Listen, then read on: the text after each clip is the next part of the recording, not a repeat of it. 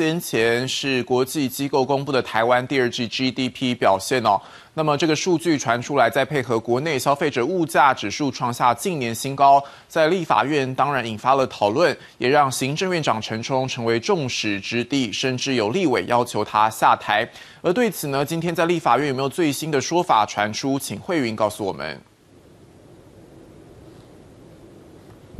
好，主播针对台湾 GDP 在亚洲十二国当中吊车尾，面对这样的成绩呢，政府有什么样的新作为呢？在刚才行政院长陈冲面对媒体的询问，他特别指出了 CPI，也就是消费者物价指数会这个增加到百分之三点四，主要是受到天后因素的影响。带您看看稍早他的说法。CPI 这个事情，我今天早上在院会也跟同仁解释过哈，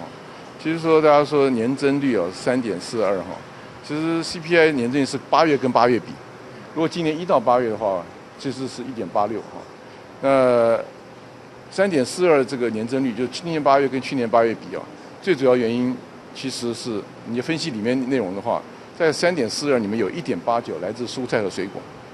啊，那为什么会这样子呢？就是因为去年的八月啊没有台风，今年的八月有台风，那而且我们冲击到我们两个最重要的葱的产地，一个宜兰，一个云林啊，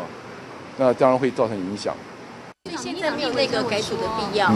好，好，好，谢谢，好，谢谢，谢谢。好，谈到经济，刚才有记者追问是否要内阁改组下台，不过看到行政院长陈忠他是转身就走人，没有来正面回应这个问题。不过在刚才的访谈当中，陈忠是特别强调 CPI，也就是消费者物价指数年增率和去年相比，今年八月是增加到百分之三点四，会有这样的这个明显的增加，主要是因为去年的八月台风比较少，今年台风比较多，因此受到天后因素的影响，导致菜价、蔬果价格飙涨，尤其是在葱价。的部分，不过现在政府已经严拟了对策，也就是要从国外来进口葱，希望能够平抑菜价。